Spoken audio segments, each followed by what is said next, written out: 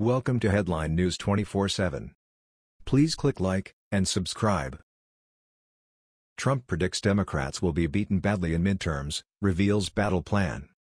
President Donald Trump is prepared to go to war with the Democrats as he said he is ready for a vicious fight and then cautioned Democrats that they are going to get beaten so badly in the midterm elections in 2018. The president sat with Fox News' Maria Bartiromo and discussed the battle plan.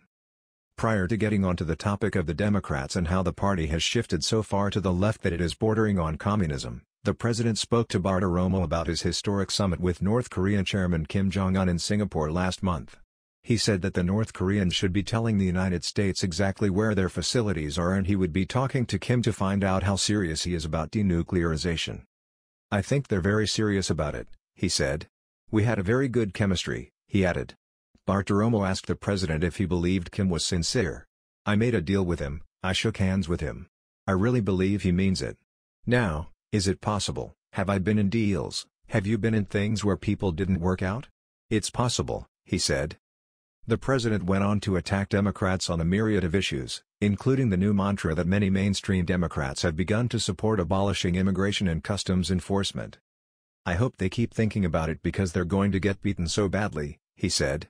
These are the guys that go in and take MS-13 and they take them out because they are much tougher than MS-13 like by a factor of 10. You get rid of ICE, you're going to have a country that you're going to be afraid to walk out of your house. I love that issue if they're actually going to do that, he added. That's going to be their platform, the president said. Open borders, which equals crime. I think they will never win another election. In the past several weeks, many top Democrats have called for an end to ICE, which was created after the terrorist attacks of 9-11. Senator Kirsten Gillibrand told CNN, in an interview on Thursday, that she wants to abolish the agency. I believe that, immigration and customs enforcement, has become a deportation force, and that's why I believe you should get rid of it, start over, reimagine it and build something that actually works, she said. Someone should tell the senator that it does work. It has deported numerous criminal illegal aliens and MS-13 members. It does not work if what you wanted to do is keep future Democrat voters in the United States. Senator Gillibrand was joined in her calls to abolish ICE by New York City Mayor Bill de Blasio, Senator Kamala Harris, and Representative Mark Pocan, who said he is going to introduce legislation to get rid of the agency. The president also addressed the coming fight with Democrats over his appointment of a Supreme Court justice now that Justice Anthony Kennedy, a conservative, considered to be a moderate, announced his retirement. I think we're going to have support from Democrats, frankly.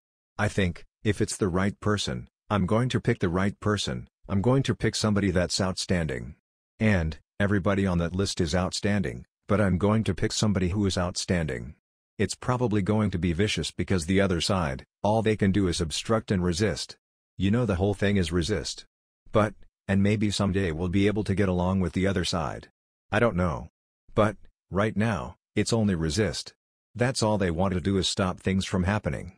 So they're going to try very hard, but I think it's going to go actually very quickly if I pick the right person, he said.